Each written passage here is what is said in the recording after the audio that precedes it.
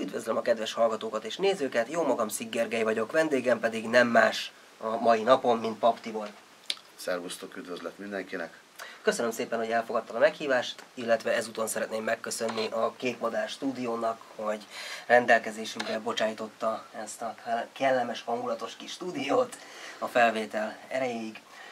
Amiért összegyűltünk ilyen nagy számban, egy ketten a mai napon, egy kicsikét beszélgetni a Beatles zenekarról, ugyanis ha jól tudom, és nem ha jól tudom, hanem konkrétan tudom, hogy részt veszel a 2014. 7. hó 10-én rendezendő Beatles emlékesten, ahol a Hard Day's Night album 50. születésnapját ünnepeljük, ünneplitek, ünneplik.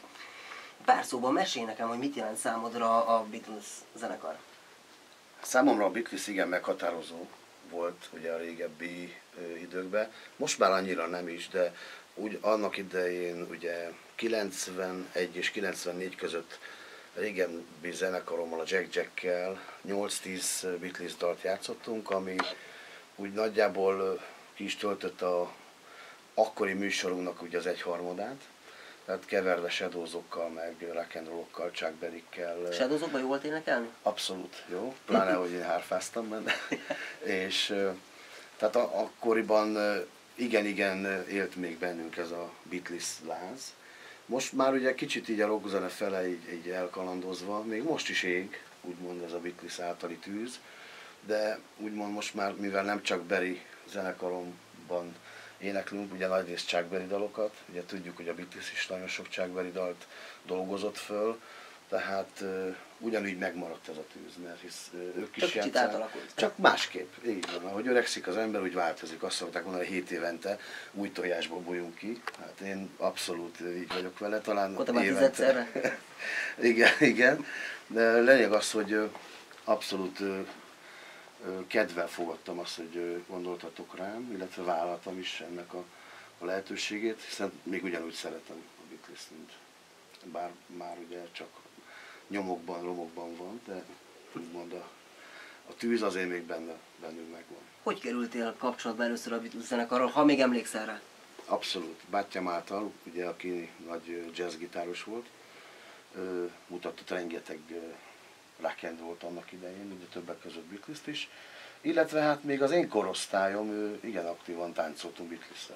Hát nem csak Bonnie Emre Abbára, hanem, hanem Beatles-re is. Tehát úgymond az, ugye Hungária mellett bőven belefért néhány olyan dal, amik ugye régi klasszikusok, ugye Hard Day's Night, meg a rock and roll music, meg hát ugye a lassukról nem is beszélek. És ugye John Lennon alkotás, alkos, alkotásai nagyon maradandó élményt okoztak az akkori leány korosztályba, egy velem egy idős korosztályba, és hát, hát jó volt annak idején csajozni, a Hey Jude-ra, meg ezekre. Szerinted mi lehet a titka a zenekarnak, hogy ekkora uh, sikerre tett szert? Egyesek szerint eladták a lehetőket az ördögnek, mások szerint nem, de teljesen mindegy. Tehát mi, az, mi lehetett a, a titka? Tehát akár zeneileg, akár emberileg, mit gondolsz erről? Fejtsd egy kicsit. Hát én most nem akarok nagy igazságot mondani, de az én eddigi tapasztalataim alapján valójában az átlagember, aki soha nem átlag, csak úgymond átlagnak képzeli magát, de azzal, hogy elmegy már egy koncertre, már is kiugrik az átlagból, hiszen elmen, elmer menni. Mindig is az a fajta egyszerűbb ritmus és egyszerű szövegek jöttek be, ami nem fáj a szívnek és nem fáj a fülnek. Mivel a Beatles abszolút lefette ezt a két dolgot, tehát úgymond populárisabb volt bármelyik, korábban bármelyik zenekarnál, valószínűleg ez lehetett az ő titkuk. Most itt nem a popzenét akarom kultuválni elsősorban, de mindenképp a dallamos zenei világ, illetve nagyon jó szövegek, a Beatles nagyon-nagyon jellemezték. Szerinted ez persze egy nehéz kérdés, de szerinted, ha most létezne a Beatles, tehát így egy az egyben, mind a négyen még meglennének belőle, nem csak ketten, akkor milyen zenét játszanának most? Hát, elmentek volna metal irányba, vagy elmentek volna NSYNC-be, vagy ilyen pop akármivel, mi lenne most? Hát talán ugye nem is olyan rég, még csinálgattak ők, ugye Paul mccartney is volt néhány felvétele, mm, ugye, tehát nagyon nem tért el a stílustól, maga az, hogy a, ugye az eszközök ugye modernebbek lettek, tehát a hangozás világ is talán modernebb, kicsit kinyílt a világ nekik számukra, de a stílus ugyanaz, egyszerű vidám zene, vidám beat zene. akkor azt mondod, hogy valójában nem nagyon változtattak volna, mondjuk nekik minden albumuk egy megújulás volt, tehát soha nem volt két egyforma albumuk. Elképzelhető, hogy elmentek volna a metal irányba? Biztos vagyok, hogy nem. Biztos, hogy nem. Biztos, hogy nem. Hangzásilag szerinted esetleg ufóba? Tehát ilyen nagyon ufó Hát ők eleve ufók, ufók voltak, tehát ugye ezzel a sikerrel az ebben sose gondol másra, csak az, hogy honnan jöttek ők, kik ők, hát ufók persze.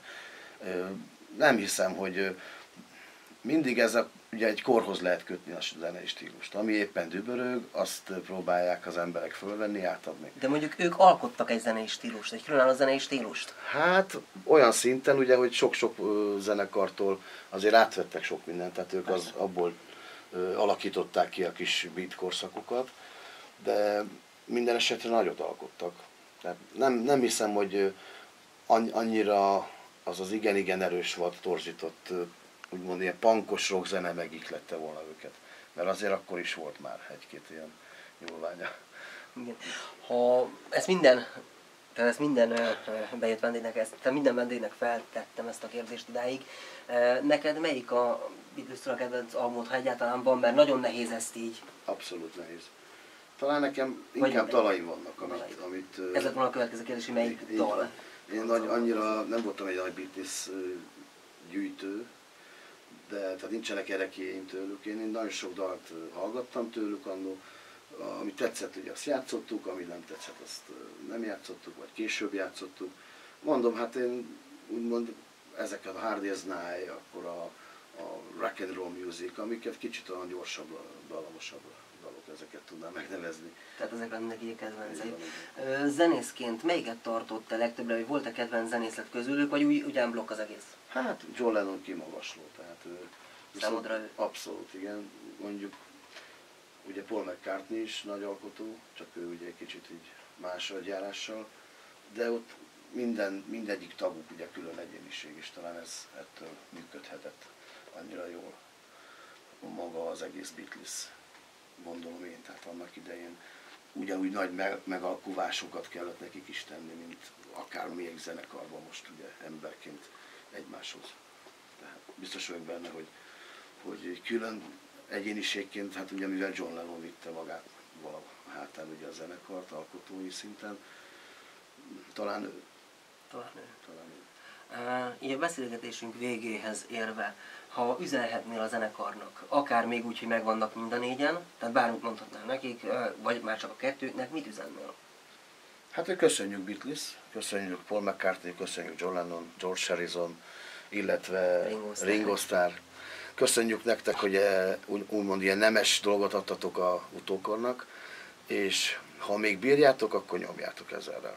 Akár itt a Földön, akár a, igen, akár a pokolban. Ahol éppen vagytok.